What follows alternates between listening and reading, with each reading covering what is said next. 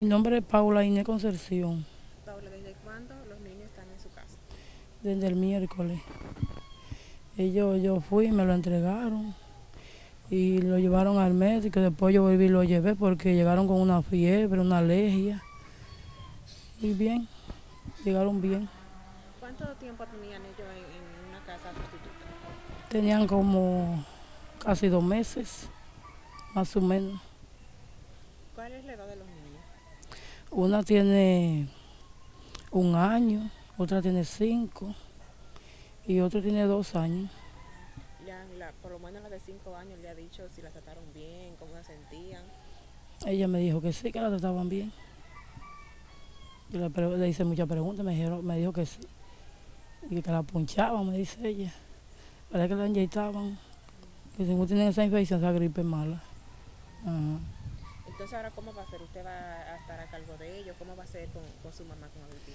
Bueno, yo voy a estar a cargo de ellos y si ella se mejora, más o menos, voy a donde la magistrada a ver si, si ella se mejora y le pueden dejar después a ella, cuando ella viva más o menos.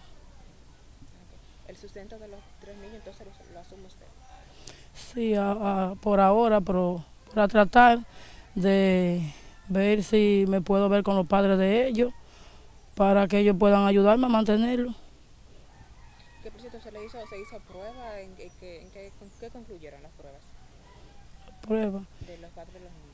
El de los tres, esos tres tienen su padre, su padre que vive en la peña. Quiero salir a calizarlo, a ver si lo encuentro, para que ellos me den ayuda de mantenerlo, porque se toman demasiada leche esos niños. Y hay que llevarlo al médico, comprar su jabón. Hay que atenderlo.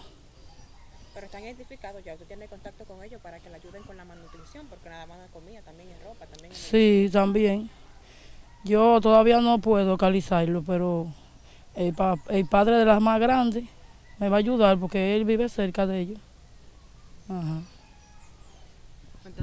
Agripina Concepción Bruno. ya luego de que le entregaron los hijos la custodia a su hermana, eh, ¿cómo usted gestiona las visitas? ¿Cómo trato con los niños y con su hermana? Mí me lo atiende muy bien. Pero hay cosas que discutimos yo y ella. ¿Cómo cuáles cosas? Que hay cosas que quiere hacer lo que ella diga. Y una noche fui allá, que lo caí muy bien. Salí, eh, salí.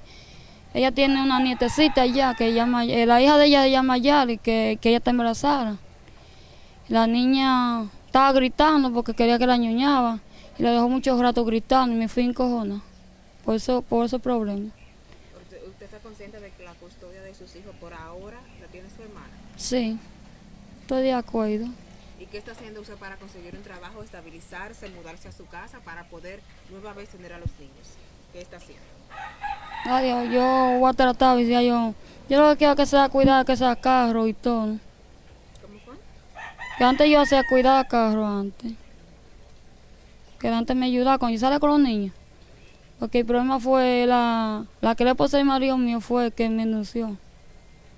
Porque ella me veía ahí en la Eva. Fue ella que me puso la denuncia, me puso en mala.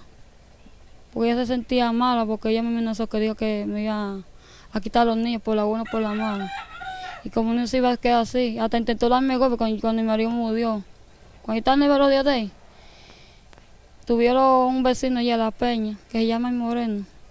Tuve yo que meterse, la, la, hermana de él, porque quería darme más golpe cuando yo estaba embarazada.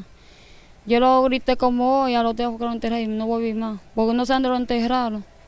Ni a tú me pude visitarla. Por el problema. Para evitar problemas.